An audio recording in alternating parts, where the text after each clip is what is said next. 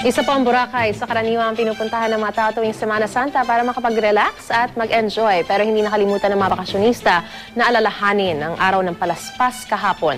Narito po ang report ni Lars Santiago.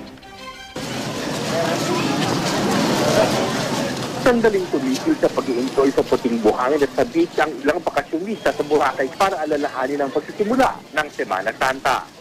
Napuno ang simbahan sa dami ng dumalo sa misa para sa araw ng palaspas. Pagkatapos magsimba, balik na sa beach ang mga tao. Maraming nagsuswimming at mayroon namang nananatili sa dalampasigan para mag-enjoy sa magandang tanawin sa isla. Labis naman ang paghanga ng dalawang dayuhang turistang ito sa ganda ng Boracay. Kaya dito nila napiling idaos ang kanilang kasal. Maraming aktibidad na pwedeng gawin sa Boracay.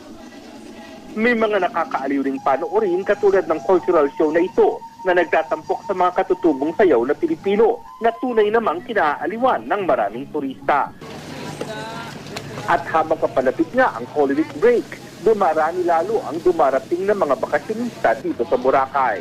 Gusto raw nilang samantalahin ang mahabang bakasyon para mag-enjoy sa world-famous na island paradise. We only got here yesterday, so we haven't done any activities. Um, we might do island hopping. Um, we also might do paragliding. I've heard it's very good for the water sport. white sand. Um, I think whilst we're here, we're going to go island hopping and maybe parasailing. It's supposed to be very good for the water sports here. Mula sa Boracay, Lars Santiago, GMA News.